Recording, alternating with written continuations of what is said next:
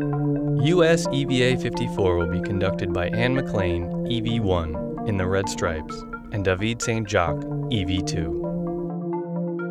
EV1 will lead out of the airlock to the nadir side of the US lab and temp stow the bag.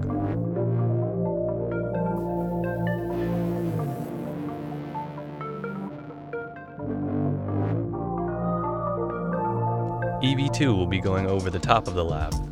They will meet up at the same worksite, but they'll take different paths to deconflict their safety tethers. After going over the top of the lab, EV2 will temp stow the bag on the zenith side of the US laboratory.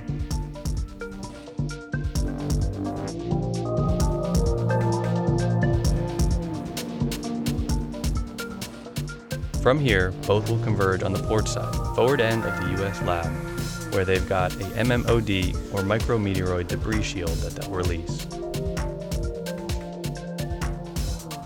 The crew will work to release that shield and the underlying insulation, then connect the cables underneath. They'll set up their bag with that cable and work to clear the site. They'll remove an electrical connector which will allow them to access that shield, as well as removing a translation aid, known as a gap spanner. Once that's complete, they can access that shield and get underneath to connect an Ethernet cable that will be utilized to route to various parts of the truss for future wireless Ethernet connections. This will spread wireless Ethernet connectivity to payloads on the outside of the International Space Station. EV1 will disconnect a cable then take the new cable from EV2 and hook it up under the shield. Then they'll replace all the hardware that they previously removed. From there, EV1 will transition to the Node 1 Nadir worksite and remove another MMOD shield and route cables for a power upgrade of the space station. These jumpers will be utilized in conjunction with the other ones that EV2 will be routing. This will allow the station to react to external power failures by reconnecting IVA jumpers jumpers inside the space station, as opposed to having to spend an EVA to reconfigure the power system.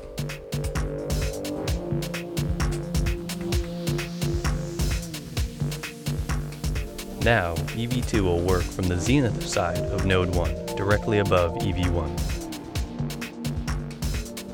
EV2 has a longer set of jumpers that will run from the forward side of Node 1 routing into the S0 truss through the MLI, where he will temp stow those for EV1 to pick up later.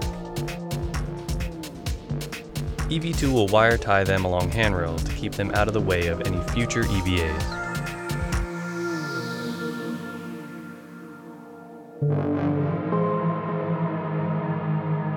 Once finished routing that cable, EV2 will come down and help EV1 secure the micrometeoroid orbital debris shield over the Node 1 Nadir worksite. From there, the crew will transition back to the airlock to pick up bags for the next task. EV1 will be heading up to the S0 truss to pick the cable that EV2 had previously left. This is the one just installed through the MLI on the aft side of the truss. EV1 will enter the bay and continue routing it inside of the truss, separating the blue and red cables the blue cable will transition to the next bay over to the right, while the red cable will be temp stowed on a handrail for installation at a future time.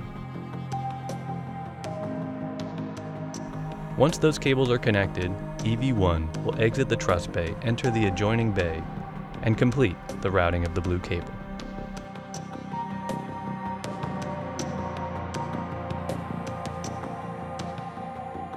With the connection of the blue cable, that completes one leg of that redundant power path that will enable the Space Station Canadarm2 to utilize redundant power supplies, if needed, in the event of a power failure.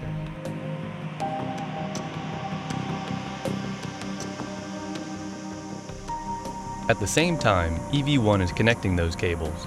EV2 will have picked up what is known as the Bartolomeo Trunnion Slip-Off Protection and head to the front side of the European Space Agency's Columbus module.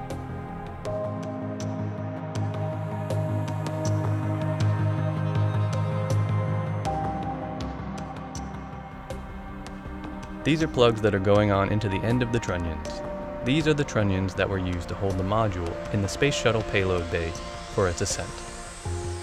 These plugs will widen the end of the trunnions to help in the installation of the Bartolomeo platform that'll be launched by ESA at a later date. EV2 has installed one and is moving to the outboard worksite to install the second slip-off protection.